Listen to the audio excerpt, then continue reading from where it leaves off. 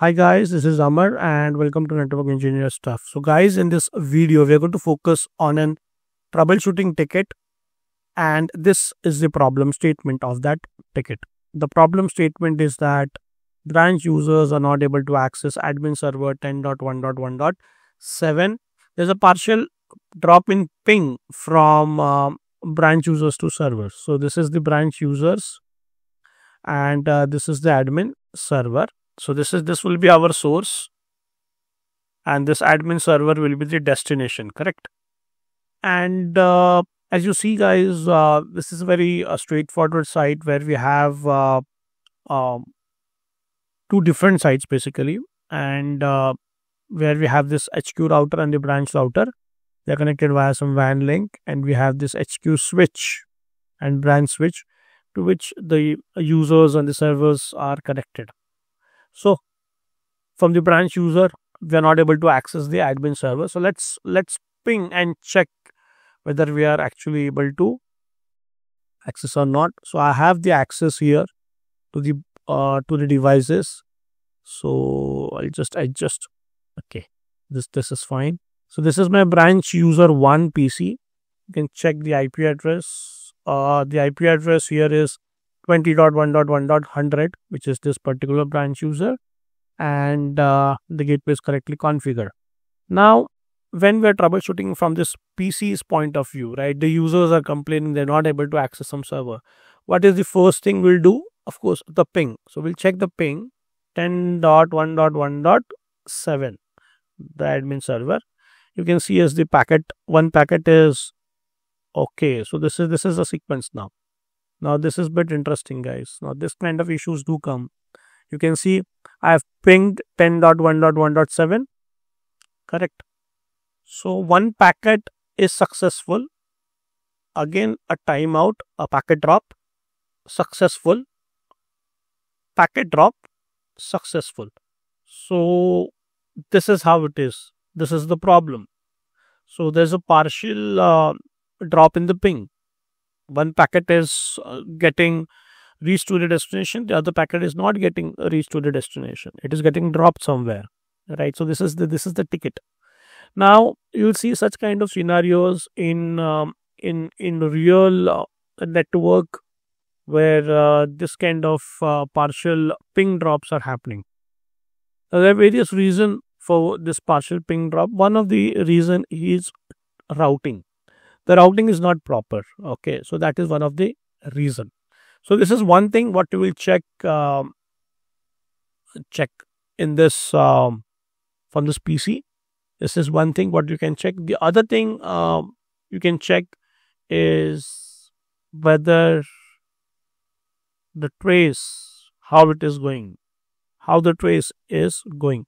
So in many videos guys i have already told that many times that ping and trace these are the two tools which a network engineer use a lot when troubleshooting. So you'll see the trace here how the trace is going. Okay so the trace is going like this. Okay if you see there's something which is like 20.1.1.1 which is the gateway that is fine. 12.1.1.1 which is this uh, this particular ip so the first hop is this particular router. Okay. And after that, uh, the second hop is 12.1.1.1, which is also fine. Then you can see here that destination port unreachable. Something is happening over here. After which, yes, it is reaching to 10.1.1.7, but you can see that you know this is a partial uh, packet drop.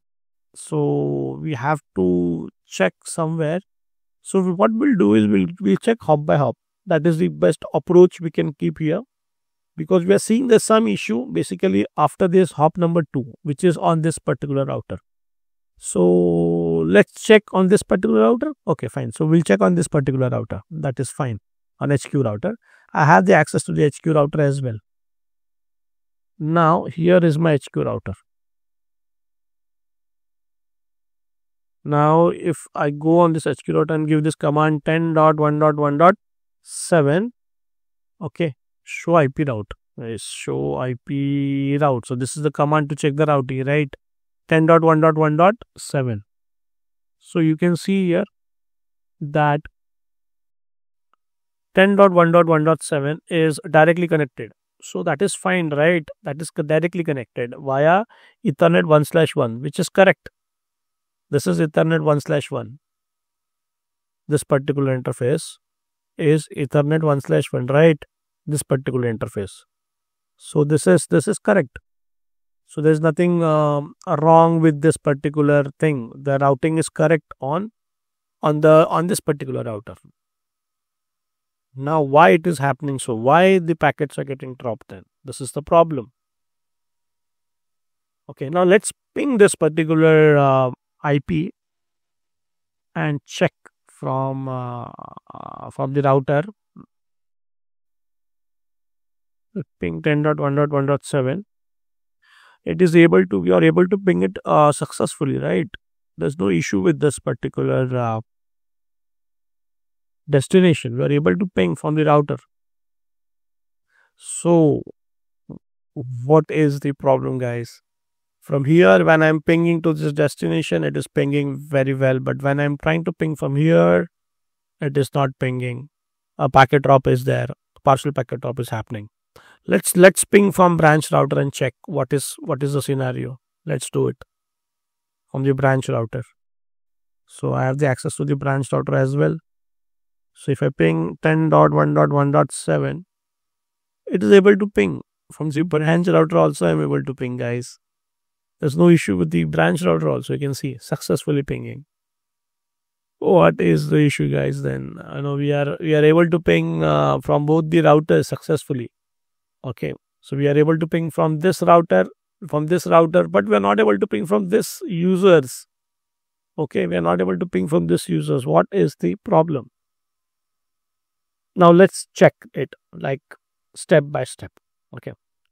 Now let's say we are not able to access it from uh, from source to destination we are trying to trying to troubleshoot it okay? But we are not able to we are seeing that in one direction it is going fine okay? I checked it from here from the branch router. I checked from the hq router. Everything is working fine. And i'm pinging 10.1.1.7 so let's change the approach and change the direction of troubleshooting let's go in the reverse direction now let's go in the reverse direction so we will start troubleshooting from here now from the admin server okay so we don't have the access to the admin server because yes, we are network people, so we don't have the access to the admin user.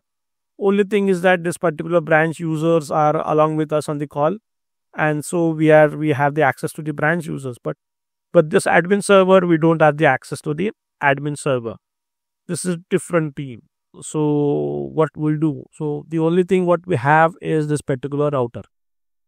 So what we'll do is we are now going in the reverse direction. So let's from this router we'll ping this users and check whether we are able to reach or not because this ping whenever ping is there you know we are we are, we are trying to access it's a two way communication right the branch user will make some request to the server and of course the server again will uh will, will respond to that request right so this is what is in ping also happening so let's check from that point of view now so what I'll do is I'll go on this HQ router and check. So this is my HQ router I have. And now I'll try to ping 20.1.1.100. I'm able to ping. That is fine. It is working fine. 20.1.1.100 is also working fine. If you see here, it is working fine for me. I don't know what is the issue. Let's check it again. Trace route 20.1.1. 100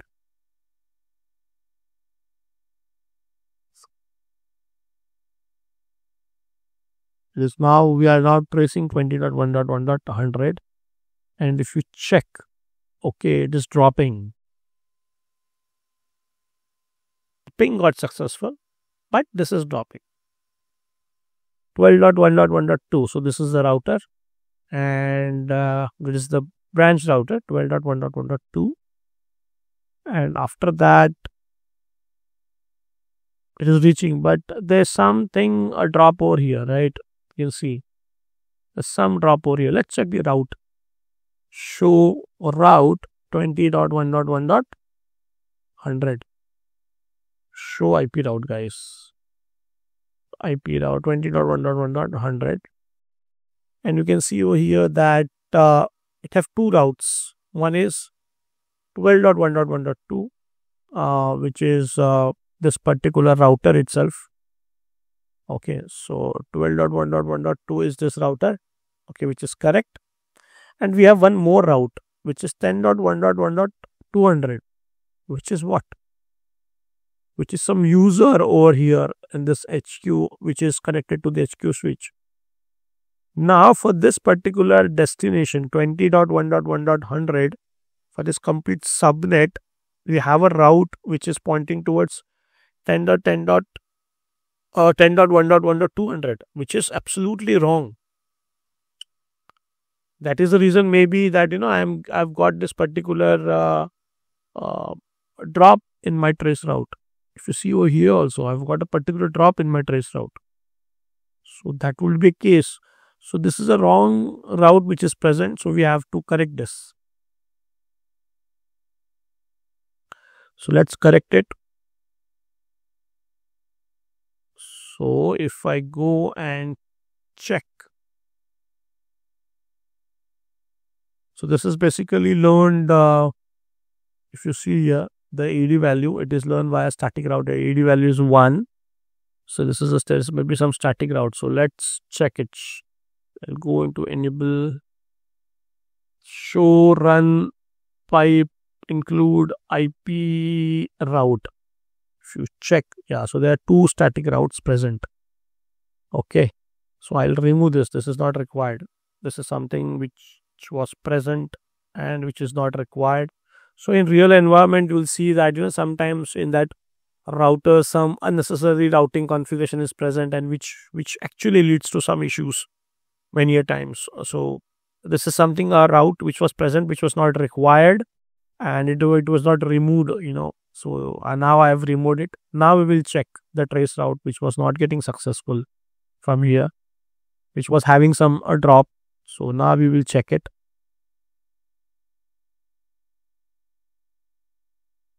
It taking some time. Okay. So now we have to check whether we are able to get that particular uh, trace out or not. Yes, you see there is no drop which which earlier we were getting. So it is now reached to 12.1.1.2 successfully, which is the branch router, and then directly to this. So there's a difference between the output if you see. This output where we where we got one drop and this output where we didn't get any drop. So there's a difference, right? Okay, now let's check from the branch users the ping. Now you can see guys, we are able to ping it successfully. So, just to summarize what happened in this particular ticket is that from this branch users, we were not able to access uh, the admin server and we checked everything. The This particular path we checked, it was fine. But when the packet was going in the reverse direction, here on this router, on HQ router, there were two routes present. One pointing towards the correct direction, that is story branched out, and one pointing towards the LAN again. So that was creating a problem. So when the reverse packets were coming, one packet was going in this direction, the other packet was going in this direction. So in two directions the packet were going. So this this was not required, that particular route was not required, and we removed that route. So in real environment, guys, this do happen that you have multiple routes and uh, which are of no use, and most of those are static routes, which are preferred ones. So this kind of issues do happen in the real environment. So guys, I'll stop in this troubleshooting ticket here. Uh, I tried to show you some real time uh, experiences which I had in my in, in my experience. So I'll stop here. I'll catch up in the next video. Till then, please do subscribe to my channel, comment on my videos, please do share those with your friends and colleagues. I'll stop. Catch up in the next video. Till then, bye, thanks, and have a nice day. Thank you.